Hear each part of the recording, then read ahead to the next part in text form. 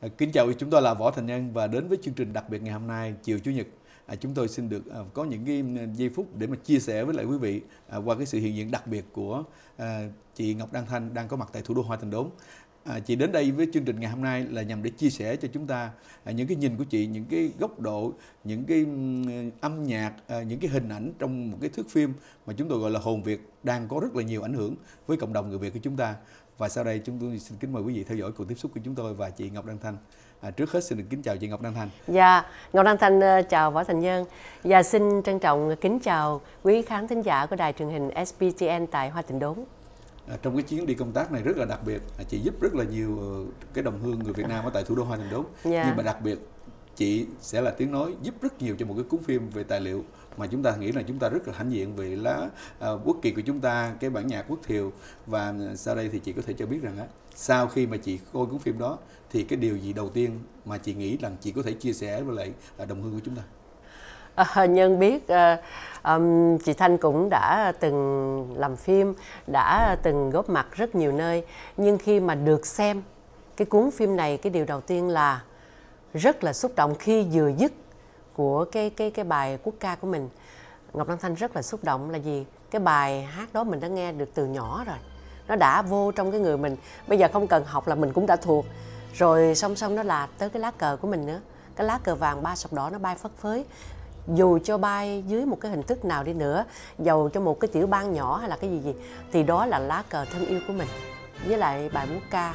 Mà chị Ngọc Đăng Thanh cũng nhân dịp này cảm ơn những người đã âm thầm làm cái cuốn phim này. Là bên ờ, theo chị Thanh biết là Việt Nam Film Club. Và uh, thì những người đã âm thầm để đưa một cuốn phim nói về lịch sử cái uh, bài quốc ca đã hát từ đầu ở đâu. Và trong đó có nhân vật sống là một uh, cô uh, trong cái đoàn thanh niên lúc đó cổ đã hát bài đó và cổ hiện giờ là 90 tuổi. Và cổ đã lên ngồi nói chuyện cô hát cái bài đó tại cái nơi đó và tất cả mọi người uh, người ngoại quốc đều phải đứng lên thán phục.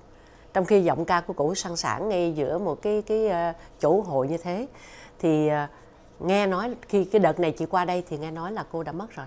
Cô quay xong cái cái cuộc phỏng vấn đó thì cô mất. Và yeah. cô năm nay cũng 90 rồi uh, nhân Lê Văn Khoa ảnh đã làm bài quốc ca mà không phải là người Việt Nam của mình chơi nhạc mà là người, những người ban dàn nhạc của Ukraine. Họ đã chơi và anh anh Khoa đã đi qua nhiều nước để làm cái bài quốc ca đó nhưng ảnh chọn Ukraine là gì? À, đó là cái đất nước nó cũng gần giống như người Việt Nam mình cũng đã bị cộng sản chiếm đóng và như thế. Thành ra anh cảm nhận được cái điều đó khi mà những người nhạc công họ đã chơi cái bài đó mà rất là hay. À, nhân cũng thấy là khi mà làm một cái cuốn phim như thế nó không phải đơn giản đâu chị thanh tìm hiểu nhiều mới biết rằng những cái người làm phim này họ không có một, nhận được một cái thù lao nào cả, làm bằng từ cái tâm và bỏ tiền túi ở nhà để đi ra làm những cái buổi như là đi các nơi, đi tiểu bang này, đi nước này, nước kia để mà có những cái cuộc phỏng vấn với lại những người sống thật, những cái người đã treo cái lá cờ Việt Nam của mình ở trên cái đỉnh núi Everest.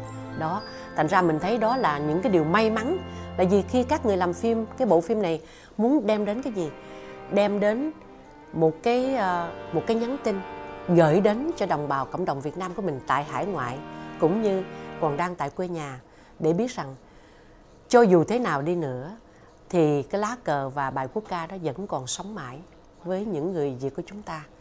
Đó, thành ra chị Thanh rất cảm động, cảm động ngay cả những cái người không có cùng với nước của mình, không cùng màu da với mình, mà họ vẫn cảm nhận được, họ vẫn bảo vệ cho cái lá cờ của mình. Giống như một ông ờ, thống đốc của một tiểu bang cũng đồng ý để cho treo lá cờ, mặc dầu đã bị bao nhiêu bao nhiêu người nói như thế này, nhưng sau cùng, cuối cùng thì ông vẫn bằng lòng để cho treo lá cờ Việt Nam mình. Thành ra chị rất là hãnh diện với những điều đó. Là vì khi tâm huyết của các anh ở trong đoàn làm phim làm bằng cái tâm mình, không một cái sự vụ lợi nào hết chỉ muốn gửi những cái lời nhắn tin đến cho tất cả mọi người khắp nơi, những người Việt trên thế giới biết lá cờ và cái bài quốc ca của mình. Thì à, đó là những cái sự may mắn các anh đi đến đâu cũng đều được suôn sẻ. Có những cái dịp mai đưa đến để cái công việc đó và bây giờ cái cuốn phim đã hoàn thành được gửi lên YouTube và cũng như ra những cái DVD để mà đưa đến cho tất cả người Việt của mình coi. Cái hình ảnh mà xúc động đó là nhân biết cái à, cái tiếng đọc của chị Ngọc Hà à, chị rất xúc động khi mà chị có nghe nghe nói rất nhiều về những hình ảnh của các ờ, người ở trong ờ, thiếu sinh quân ngoài Vũng Tàu. Có nghe có nghe nói nhiều nhưng mà mình không có thấy hình.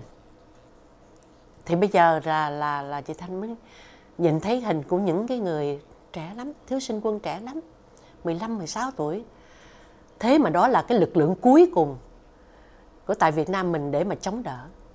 Và khi ờ, khi mà những người cộng sản vào và muốn chiếm cái đó, khi biết rằng bây giờ những người ở trong thiếu sinh quân đó không còn không còn một cái gì chống đỡ, không có ai đứng ở ngoài sau lưng để hỗ trợ nữa, thì bây giờ đành phải giao. Cái chỗ đó thì phải làm sao? Nói xin phép các ông, chúng tôi sẽ giao, nhưng cho chúng tôi làm lễ, chào quốc kỳ, hạ quốc kỳ xuống. Thật sự lúc đó cho tới bây giờ ngồi nói chuyện nhưng mà cái hình ảnh đó và những cái cái tiếng nhạc nó vẫn còn gian gian ở trong cái tay chị. Rất là xúc động những hình ảnh đó. Mà chị Thanh cũng biết rằng à, khi mà chị Ngọc Hà, chị đọc tới đó chắc chắn chị cũng phải xúc động. Và cuốn phim này à, thật sự đối với chị Thanh là cuốn phim giá trị. Tất cả người Việt chúng ta nên xem. Xem để làm gì? Không phải xem một cách để thưởng ngoạn, để giải trí. Mà đây là cái nhắc nhở, một cái nhắn tin nhắc nhở chúng ta phải làm một cái gì đó. Gì đó là lá cờ của chúng ta, là gì đó là bài quốc ca của chúng ta. Thì chúng ta phải làm cái gì đó chứ không phải là để ngồi coi, để rồi không làm gì hết. Ngay cả cái tuổi trẻ bây giờ, các em may mắn lớn lên ở một cái đất nước tự do. Thì à, sau này chị thanh đi nhiều mới thấy rằng có nhiều em trẻ giỏi lắm. Đi khắp nơi các em làm nhiều việc cũng âm thầm, giống như là các à, bác, các chú lớn đã làm thì bây giờ các em đi sau có nghĩa là gì? Các em không phải là đi từng bước giống như các bác các chú mà các em đã có được một cái vai để các em đứng lên cái vai đó và nhảy xa hơn nữa. Khi mà chúng ta nói một cái di sản về chính trị hoặc là một cái di sản về văn học thì theo chị à, chị nhận định như thế nào về một cái tác phẩm ờ, điện ảnh như vậy mà nó lại có ảnh hưởng về chính trị rất là nhiều đặc biệt cho một cái thái độ chính trị của chúng ta hiện đang sinh sống xa rời quê cha đất tổ của chúng ta? À, đối với chị thì um, mình không có đau to búa lớn.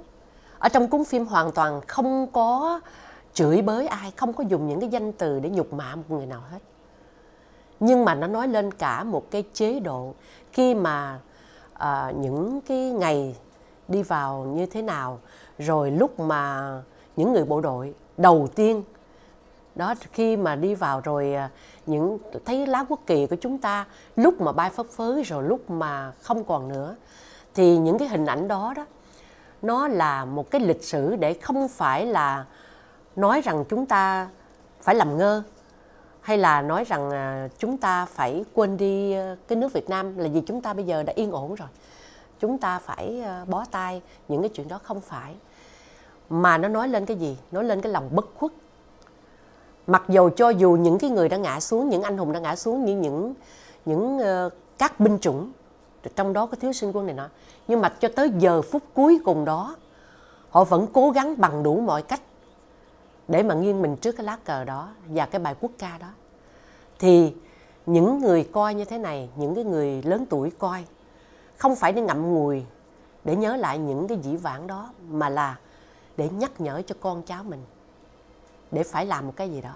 Đối với lịch sử Việt Nam thì có những em nhỏ như một cái cô gái ở trong cuốn phim thì ông thống đốc hỏi là bây giờ mày không còn ở đất nước ờ, Việt Nam nữa đã đi qua bên nước này rồi mà tại sao lại lại còn bảo vệ cái lá cờ? Nói dạ thưa ông chúng tôi bảo vệ lá cờ đó chúng tôi muốn được treo lá cờ đó là vì tại vì lá cờ vì bài quốc ca đó mà chúng tôi có mặt tại nơi đây.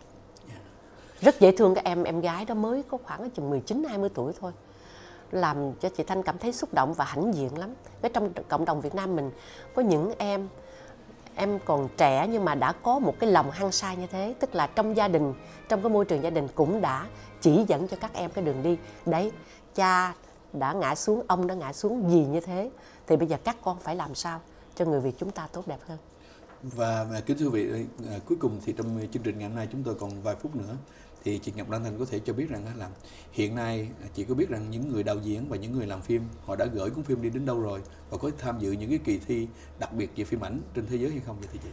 À, theo chị biết ừ, chưa có tiếp xúc nhiều với lại bên ờ, những anh ở trong ờ, Việt Nam Film Club nhưng mà không biết là có đem dự thi hay không nhưng theo chị nghĩ là đây không phải cuốn phim để mình dự thi mà mình chỉ làm một cái thông tin một cái thông điệp để gửi đến cho cộng đồng người Việt của chúng ta tại hải ngoại cũng như trong nước xem xem những hình ảnh đó.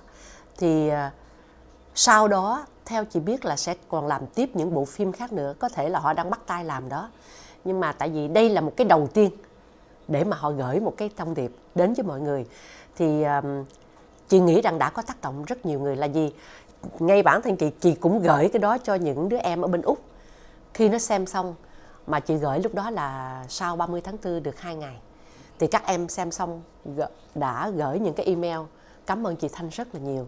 Cũng như bạn bè chị ở bên Sierra mấy anh ở trong không quân. Cũng có một người từ trong thiếu sinh quân ra rồi à, đi à, đi qua bên bên à, pilot ở bên không quân. Hai anh chị đã gửi lời cảm ơn chị rất nhiều và họ đã nói rằng uh, họ đã khóc hết nước mắt. Thì chị mới nói rằng khóc. Thì mình đã khóc nhiều rồi cái quan trọng là bây giờ mình làm cái gì cho chúng ta ở tại hải ngoại cũng như là cho những người còn đang ở trong nước tại vì chúng ta đã được quá tự do thì chúng ta phải nhớ phải thương tại vì có những người thương thương phế binh vẫn còn ở bên đó họ đang sống ngắt ngoải để chờ đợi một cái ngày nào đó chúng ta sẽ gặp lại nhau. Yeah. À, xin được cảm ơn à, chị Ngọc Đăng Thanh rất là nhiều. À, chị đã dùng thời gian để đến với bản tin Hoa Tình Đố ngày hôm nay.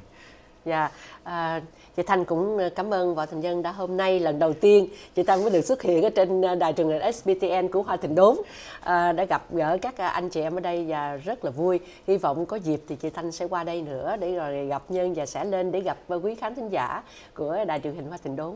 Dạ. Xin được cảm ơn chị Thanh. Dạ, kính chào quý vị.